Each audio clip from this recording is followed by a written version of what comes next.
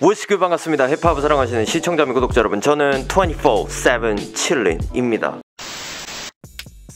What's good? I'm 24/7 chilling. Now I'm making a reaction videos for overseas hip hop, R&B, and Yeah. all the black music. And I also making a street fashion live video. If you like my channel, please subscribe, like, and notification. You already know. 24/7 chilling.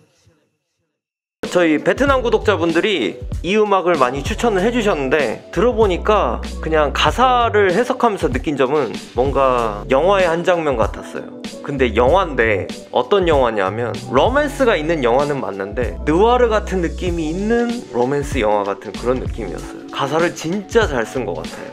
HUSTLANG 오랜만에 HUSTLANG Records의 채널로 넘어가 보도록 하겠습니다. HUSTLANG Robber의 Nine Four Two가 되겠습니다. 야 이거 제목 뭐 가사 이런 거에서부터 알 수 있듯이 뭔가 영화 같은 vibe의 음악이에요. 특히나 HUSTLANG Robber의 HUSTLANG Robber의 목소리는 굉장히 허스키하고 좀 날씨로 치면은 안개 낀 날씨 같은 목소리거든요. 그런 날씨면은 굉장히 분위기가 있고 운치가 있다고 우리가 많이 생각을 하잖아요. 진짜 분위기 있는 목소리로 노래를 하니까 아 vibe가 장난이 아닌 거예요. 저는 가사를 해석하면서 좀 놀란 게 우리가 힙합 래퍼들은 뭔가 그녀에 대한 사랑의 얘기를 할 때도 뭔가 묘사, 그녀와 함께 있는 이 공간에 대한 상황 설명은 굉장히 디테일하고 섬세하게 잘 합니다. HUSTLANG Robber 같은 경우도 마찬가지예요. 왜냐하면 그녀가 뭘 좋아하고 그녀와 함께 와인을 마시고 이런 시간들을 표현하면서 밖에는 비가 내리고 난 지금 Versace 셔츠를 입고 있고 나와 그녀와 함께 있는 이 공간에서는 무슨 일이 벌어지고 있는지를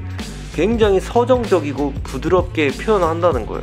그래서 단지 그녀와의 어떤 마음에 대해서만 얘기를 하는 것이 아니라 나와 그녀를 둘러싼 주변 환경을 다 이렇게 하나의 어떤 vibe가 될 수 있는 매개체라고 생각을 하고 표현을 하는 거기 때문에 굉장히 시적일 수밖에 없고 굉장히 부드러울 수밖에 없고 굉장히 일반적인 사랑 노래들보다는 굉장히 디테일하게 다가올 수가 있다는 겁니다. 사실 또 제가 이렇게 촬영을 하는 시간이 보통 밤 시간이 압도적으로 많다 보니까 밤 시간에 이런 음악을 들으면서 영상을 찍는다는 거는 저의 어떤 vibe에도 너무 잘 맞아요. 그러면은 오랜만에 HUSTLANG Robber의 Don Julio One Nine Four Two 지금부터 음악을 들으면서 얘기를 해볼 수 있도록 하겠습니다. Yeah, okay, let's get into it.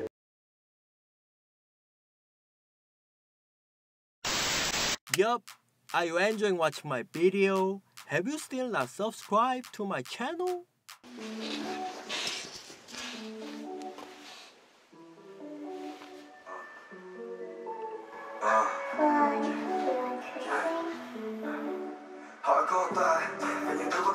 음.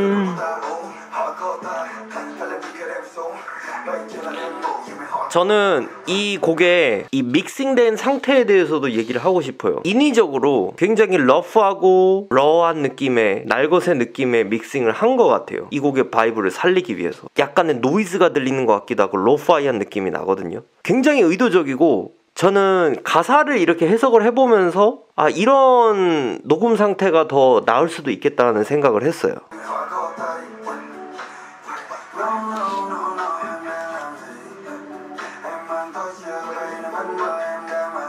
야왜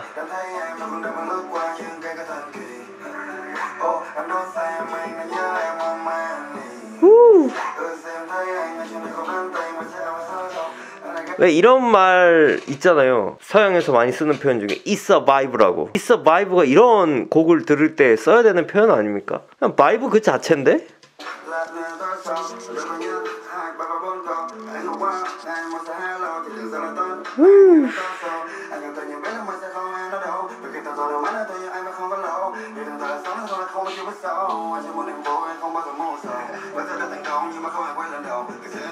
나 이런 게 좋다니까. 사랑 노래인데도 뭔가 랩 skill에 있어서 그 힙합의 곤조는 있어요. 이 곤조라는 게 중요한 겁니다. 아, 좋아요.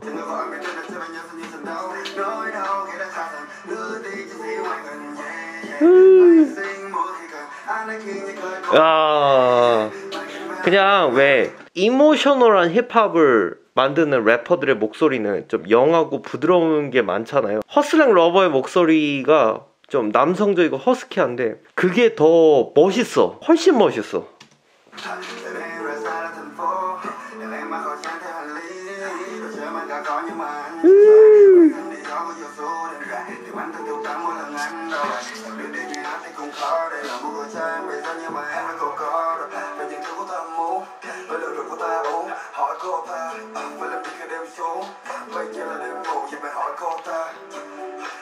사랑에 대해서 노래하지만 그래도 랩에 있어서는 러버가 이렇게 얘기하는 것 같아. 나는 남자야. 난 진짜 남자야라고 얘기하는 것 같아. 난 이래서 좋다니까.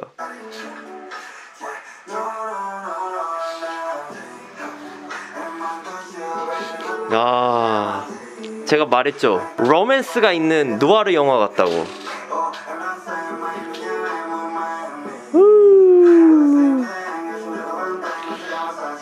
래퍼의 목소리로 어떤 바이브를 만든다는 거는 진짜 중요한 거고 재능이에요.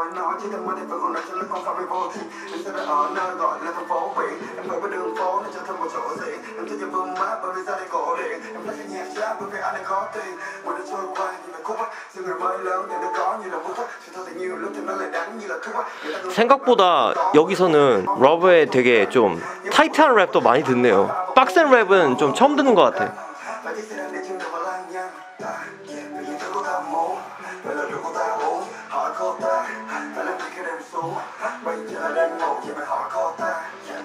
레드 와인이 잘 어울리는 곡이지 않습니까? 레드 와인이야 이거.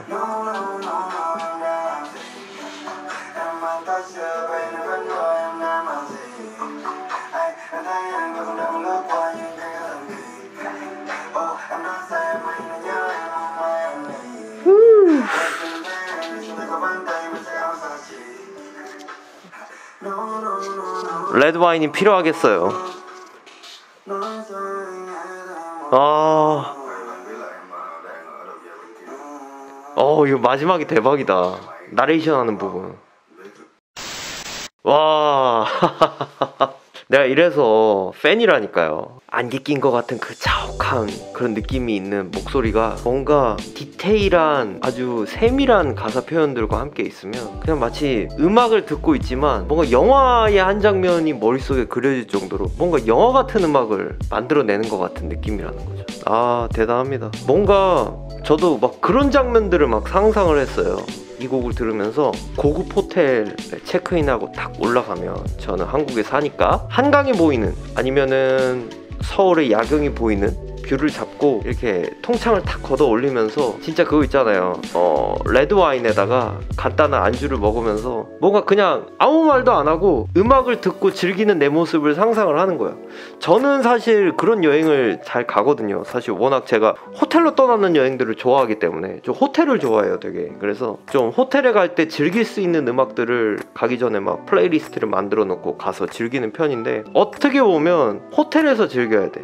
특히 뭐 사랑하는 남녀가 있다면 호텔에서 즐기기 더할 나위 없이 좋고 혼자 가서 들어도 되게 난 이 vibe가 더 좋을 것 같다는 생각도 들고. 어 뭔가 여운이 되게 강하게 남아요. 이 곡은. 어떻게 보면 HUSTLANG Robber의 목소리에 너무나 최적화된 음악을 만난 것이 아닌가라는 생각이 들 정도로 너무나 이, 이 래퍼한테는 잘 맞는 옷 같은 느낌이었고 영화 같은 음악이었다. 저는 뭐 이렇게 얘기하고 싶어요 자 여러분들의 의견은 어떠신지 모르겠습니다. 의견 있으신 분들은 댓글로 많이 남겨주시고 저희 24-7 칠린 채널이 마음에 드시면 구독, 좋아요, 알람 설정을 해주세요. 저는 다음에도 재밌는 영상으로 다시 돌아올 수 있도록 하겠습니다. 여러분 감사합니다. Peace out. If you want to watch more videos